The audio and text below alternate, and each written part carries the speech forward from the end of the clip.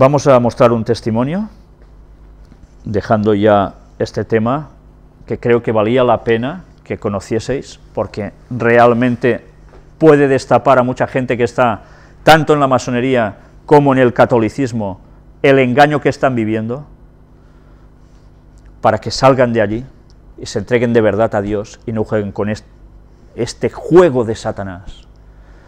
Y hablando de estos juegos de Satanás, mirad este testimonio. La verdad es que es un testimonio de esos que a veces resultan eh, un poco espeluznantes, ¿me entendéis? Mi nombre es Gustavo y te estoy escribiendo desde Argentina.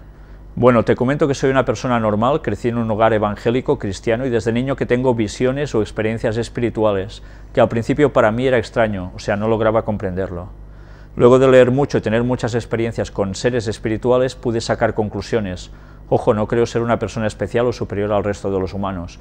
Yo creo que todos los hombres tenemos como un sexto sentido, una visión espiritual, pero en este mundo terrenal estamos tan distraídos que no logramos apreciar el mundo espiritual que nos rodea.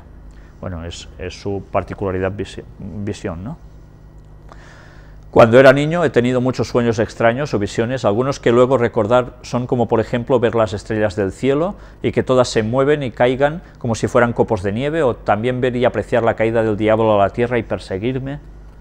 Luego recuerdo tener una experiencia espiritual con un ser de luz, ángel, Recuerdo una mañana estar durmiendo en mi cama y luego sentir una luz fuerte y enceguecedora. Luego al abrir los ojos veo enfrente mía una luz muy intensa y blanca sin ninguna dirección. Al aclararse mi visión en medio de aquella luz aprecio un rostro hermoso. Luego puedo distinguir unas sandalias doradas y unas alas pero hechas de luz. Al ver este ser no me asusté ni me sorprendí, le hablé y traté como si fuera un amigo. Hablamos o tuvimos un diálogo, pero no puedo recordar la charla que tuvimos ni cómo terminó la aparición.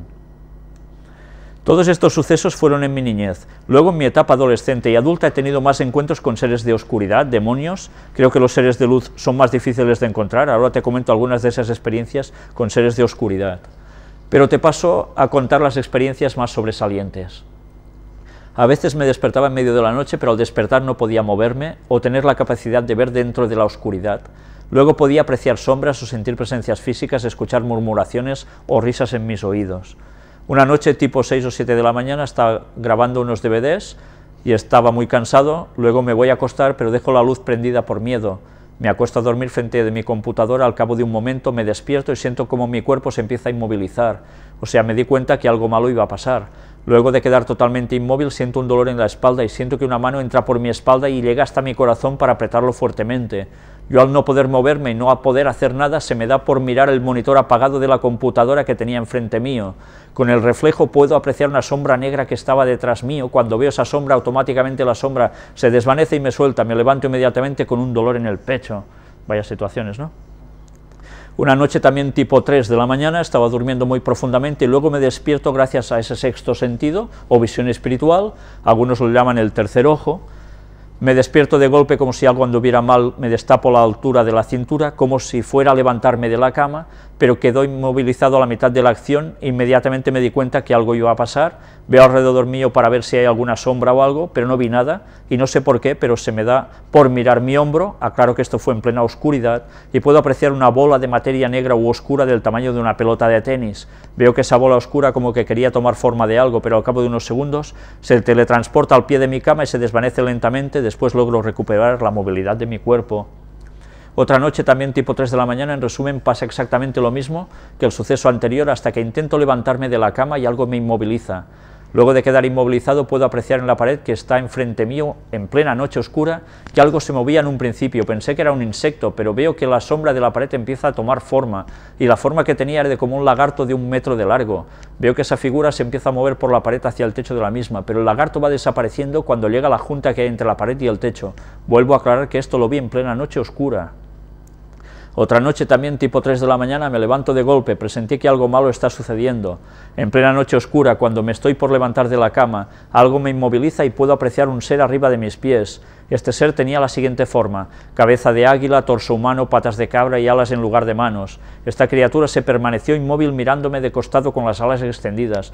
Yo al ver este ser me llené de odio y bronca, no sé por qué, y preparo mi puño derecho para pegarle, pero automáticamente me inmoviliza la mano, permanecí inmóvil por unos segundos contemplando esta criatura en plena oscuridad sin ningún tipo de luz. Luego este ser espiritual desaparece automáticamente e inmediatamente recupero la movilidad de mi cuerpo y con mi puño derecho logro golpear donde se encontraba este ser, o sea, en mis pies. Una vez, tipo 5 o 6 de la tarde, estaba acostado con mi netbook buscando información en internet y al cabo de un momento me quedo dormido, ya que esa noche no había dormido bien. Luego, pasado un tiempo, logro despertarme con un fuerte dolor en el pecho y como que algo absorbía mi vitalidad o espiritualidad, no sé cómo explicarlo, y me levanto totalmente inmóvil, abro mis ojos y puedo apreciar arriba de mi netbook un pájaro negro como si fuera un cuervo, pero no hecho de materia, sino de espíritu. Cuando logro mirarlo, este ser me absorbe más aún mi vitalidad y me hace cerrar los ojos como si fuera a desmayarme, pero logro recuperarme, vuelvo a abrir los ojos y puedo apreciar que la cabeza del pájaro cambia de forma, pero vuelve a absorber más mi vitalidad y me hace desvanecer y vuelvo a cerrar los ojos pero inmediatamente me recupero y empiezo a invocar a Jesús, y el pájaro negro desaparece, y me levanto de mi cama con un fuerte dolor en el pecho. Ya veis, invoca a Jesús, patam, se acaba todo. Con el pasar de los años y varias experiencias con estos seres me di cuenta que hay un punto medio exacto entre estar despierto y dormido, donde puedes ver estos seres espirituales. Hablando con gente que practica Reiki me comentaron que ellos logran llegar a este punto con la meditación. Ya veis. Y no soy el único que tiene estas experiencias, algunos amigos también las tuvieron, aunque no suelo hablar de estos temas con personas que no hayan pasado por estas experiencias, ya que escapan a toda lógica humana. Al día de hoy mi única arma para combatir estos seres de oscuridad es el nombre de Jesús. Desde ya saludos cordiales. Actualmente no me estoy congregando en ninguna iglesia y nadie de mi familia practica espiritismo ni nada de eso. O sea, estas experiencias no solamente me pasan en mi casa, sino en cualquier lugar donde se encuentren estos seres. Esto me lo dijo en respuesta a lo que yo le pregunté si él había tenido contacto con alguna situación de espiritismo, etcétera, etcétera. Bueno, ya veis que aquí habla con sus amigos que están puestos en Reiki, eh, han, pasado por, por experiencias, ya veis, de estos tipos. ¿Qué quiere decir esto? Hay que ir con cuidado con las amistades que también tenemos, porque su influencia no se queda solo en ellos, pasa también a los que tienen al lado. Yo no sé por qué esto le pasó a él desde niño. Quizás esta persona va a ser un ganador de almas y Satanás lo sabe y va por él como puede. Yo recuerdo que desde pequeño he vivido algunas situaciones, no exactamente como estas, distintas, de, ángeles caídos, y estoy vivo porque Dios quiere.